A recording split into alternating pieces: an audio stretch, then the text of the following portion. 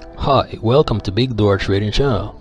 In today's class, we will learn how to create the famous MACD indicator using the Pine editor from the TradingView platform. To begin this lesson, we will include in the chart a standard MACD offered by TradingView itself. Note that in this settings window, it is possible to change some important settings for this indicator. Our job today is to recreate that MACD. To start, open your Pine editor by clicking on this button right here. Delete everything written in your Pine editor so that we can start a new code from scratch. In the first line of the code we need to say which language version we are going to use. As version 4 is the most recent, so I will use version 4. In the second line of the code, we need to say whether our code is going to be an indicator or if the code is going to be a strategy. This code will be used to create an indicator, so I will use the study function. If you have questions about this part, watch the past classes where I talked about it.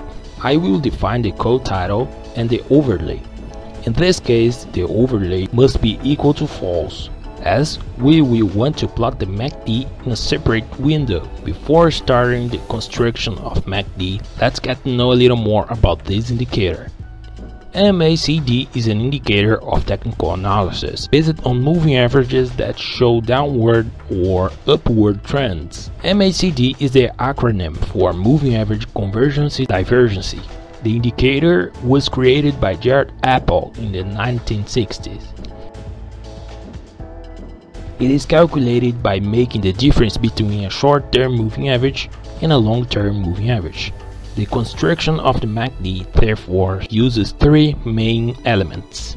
A long-term exponential moving average, a short-term exponential moving average, and a exponential moving average of the MACD itself.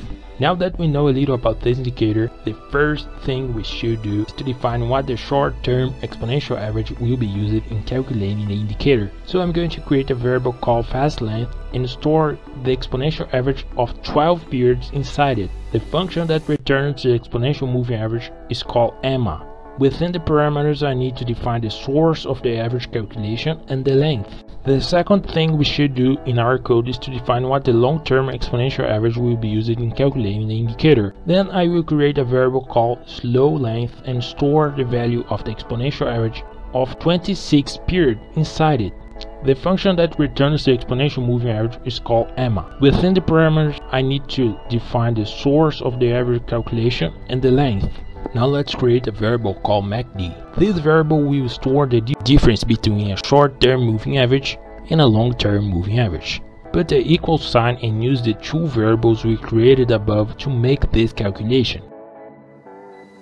After that, we will calculate the signal value. We do this by calculating an exponential moving average of the MACD itself. Now that we have our indicator calculated, I'm going to use a plot function to put that indicator on the chart. Now just click on add to the chart and see how it looks.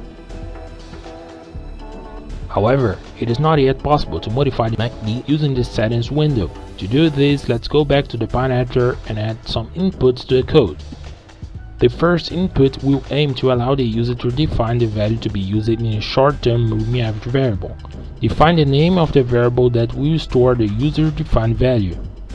Start by writing what name your input will receive in the code, in which case I will call this input fast. Now, fast needs to be able to receive the value that the user selects in the properties window. We will do this using the input function. Within the parentheses, start by saying the default period of the short-term moving average. In this case, I will want the period 12. Then put a comma and use the title parameter to say the title of the input in the properties window. Repeat the process for all other inputs for your indicator.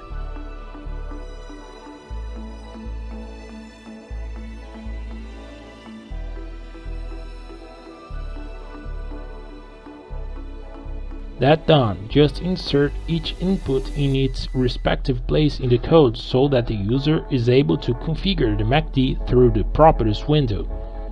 Now just click on Add to the chart and see how it looks.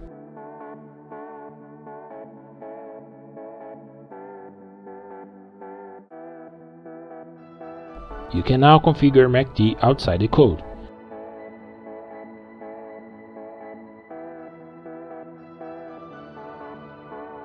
I hope this lesson was useful. Don't forget to subscribe to the channel.